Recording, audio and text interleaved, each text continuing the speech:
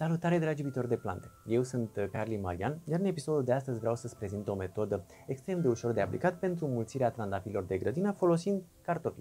Deși poate părea o metodă bizară, să știi că poți înmulți trandafirii care deja îi simți ca favoriți în grădină și vrei să îi înmulțești, folosind această metodă extrem de ușor de aplicat și care îți poate garanta prinderea lor. Dar pentru acest lucru trebuie să mă urmărești în minutele care urmează. Pentru această metodă de mulțire, cu ajutorul cartofilor, este foarte important să folosești lăstari anuali uh, care deja au înflorit. Uh, este important să uh, elimini și măciulia care a rămas în urma trecerii florii și evident să nu aibă o grosime mai mare de cea a unui creion.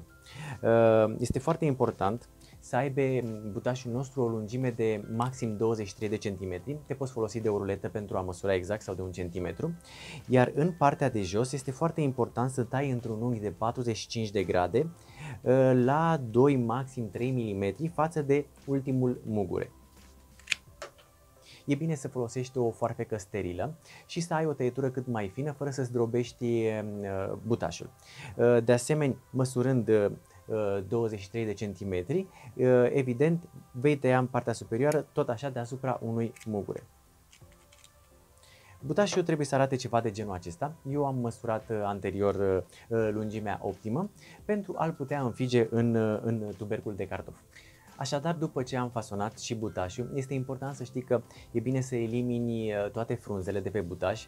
În cel mai um, bun caz, dacă vrei, poți să lași două frunze în vârf Uh, dar eu am ales să elimin toate frunzele pentru a nu uh, pierde apă prin evapotranspirație. Uh, e bine să folosești tuberculi care sunt destul de turgescenți, adică să fie ferm la atingere, să nu fie stafidiți și vom face un orificiu în care vom introduce butașul cu ajutorul unei șurubelnițe.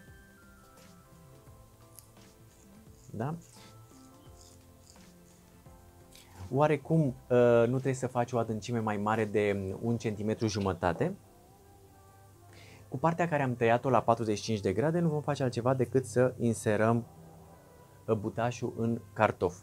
Uh, umiditatea pe care o vei oferi uh, butașul și toți nutrienții pe care îi, acesta îi conține va ajuta la o, o rădăcinare cât mai rapidă a trandafirului. Ce facem mai departe? Avem și un ghiveci unde vom completa cu pământ. Punem pământ la bază. Oarecum trebuie să trecem de jumătatea ghiveciului. Prin completare cu pământ, așezăm tuberculul de cartof și vom completa de jur împrejur și într-un stat uh, de circa un centimetru și deasupra tuberculului.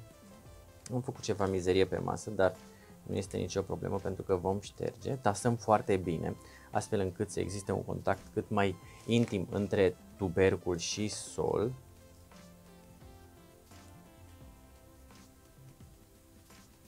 după care vom uda bine substratul până când va ieși apa prin orificiile ghiveciului.